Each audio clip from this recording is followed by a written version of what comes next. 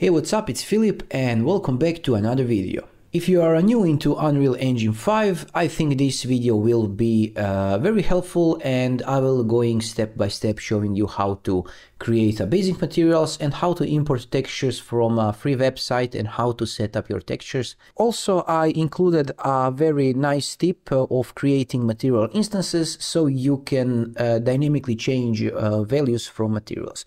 Don't worry, everything is super easy to do, so uh, let's start.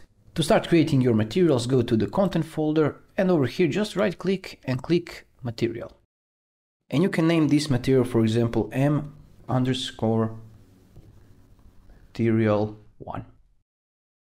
And we have a material. If you double click it to open it up, you will get this window. Don't worry about all these options over here. We will uh, go through uh, the basic ones so you can have a, a basic understanding of your uh, materials. On the left side, you can see that we now have our sphere. It's a black sphere, but uh, we want to, for example, change the color. Uh, you can go over here and right click constant 3 vector this constant 3 vector has three values, so you can uh, observe this as a RGB color. So just drag and drop it to the base color and nothing changes.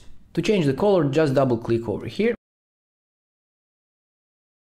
And we can easily change this color, for example, to be green and hit OK. But we want to alter the properties of our material. You can see on the right side, it says metallic. You can go over here and type in, for example, 1 and you can see that our sphere has a more metallic look. Unfortunately, you can see the roughness is 0.5 and we want to move this to complete zero so we can have this nice reflective smooth metallic material. You can also drag and drop it to over here into the emissive color and you can easily have nice metallic glowing color. Hold alt break this and when you are done with your material you can just hit apply and save.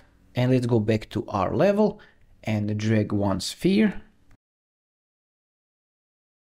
Position it to the center, focus it, and now just drag and drop the material to your object. And this is the easy way to create a material. But what if we want to apply a textures to our material? We can do that by going to this polyhaven.com. It's a awesome website and go over here assets and you can see these textures. So let's for example use this fabric pattern, click it and we want to download it. On the first drop down menu you can see the resolution. I will go with 2K. Second is a zip file. You can go with the Blender or GLTF if you want, but, but zip will be just fine. And uh, now we can choose the zip contents. We don't want this blend, we don't need this GLTF, we can use the ambient occlusion, or we can use the ambient occlusion, roughness and metalness, everything inside the one. No, we'll just skip this. We will choose this color one normal map and this is a DirectX and this is the OpenGL. It's recommended that you use DirectX, but OpenGL is just fine. It depends on your purposes and uh, what you want to achieve. I will go with DirectX and roughness. Don't worry about everything over here. I will explain everything as we are creating our material. Just hit download. And here under the fabric pattern, double click to open it. You can export textures open your textures and we can see our maps here. To import them, go to Unreal Engine and right click here and go with a new folder and type in textures, blah, blah, blah. Or you can delete this and just drag the whole folder to your Unreal and it will automatically create the textures folder and all the textures inside. And drag and drop this uh, map. You can just drag and drop it to your uh, object and you can see it automatically applies to our object, but it creates our material automatically. We don't want to do that, or if you want to do that, it's okay, no problem.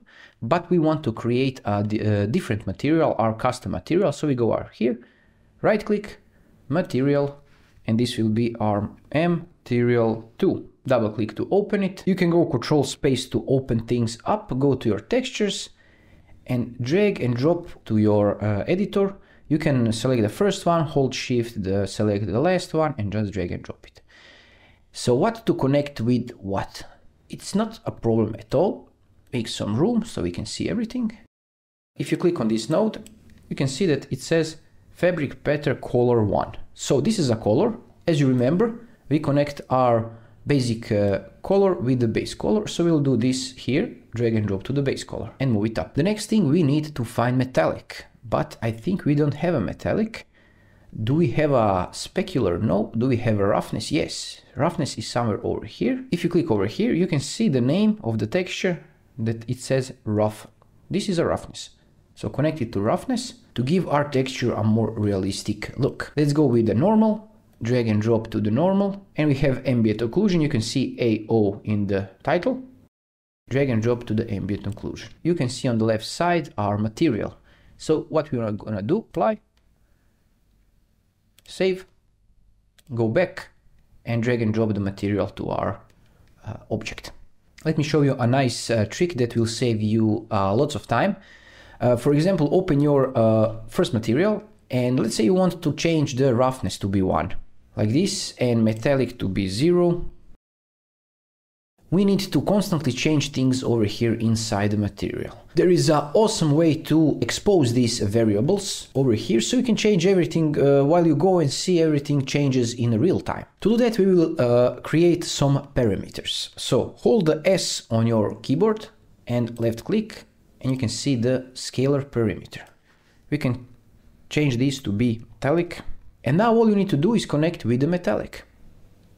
And as you can connect, you can see that our value are now going over here, but we can now control our values over here under the default value. So select this parameter, this is a name, and default value will be zero. It's okay, let's keep it zero. Same thing go with roughness. You can just duplicate, control D, to duplicate and connect with, with roughness, and change the name to be roughness, and also value to be zero.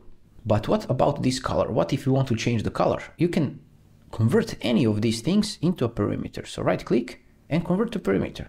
So color. And now make sure to save, apply, save. And now we can change on the fly, but not with our master material, but with our instance.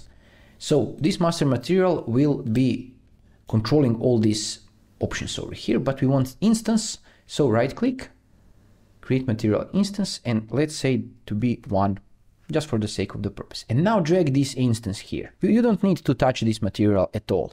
We will just creating instances and changing instances, and this material will control the material over here. We have instance, we drop instance over here, and if we open instance, you can see parameter groups, global scalar parameter values, and in this drop down menu you can see metallic and roughness. So we can change metallic to be 1. If I go over here and make this a little bit smaller, you can see immediately how things are changing in the real time. Let's say we want super rough material here and change roughness to be 1. Just hit save and we have a rough material. Good thing is if you select your uh, sphere, hold alt and duplicate, you can create another instance over here. Right click, create material instance to be 2. And let's check out things. Let's expand these global uh, vector parameter values here. And let's say we want to change color. Click over here and change color to be red. And we want this to be super metallic. We hit save and we drag and drop our instance here. Let's make another one, another instance. You can see how easy and fast you can change the values over here. Let's bring this instance to the top and change the color, enable it, change the color to be, save it, go to level and drag and drop it here. And this is it. I hope this video uh, was helpful to you. If it is, drop some likes and comments below and see you in some other video. Have a nice day and uh, bye, bye bye, and bye bye.